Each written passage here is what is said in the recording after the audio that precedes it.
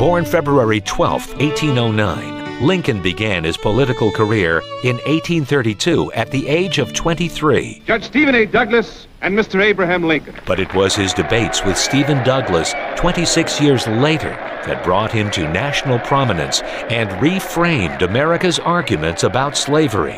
Lincoln became the 16th President of the United States just three years later. Lincoln often quoted the Bible in his speeches. In his House Divided speech during his campaign against Stephen Douglas, Lincoln quoted from Mark 3:25.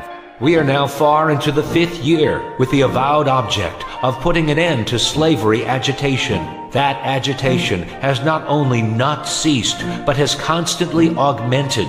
It will not cease until a crisis shall have been reached and passed.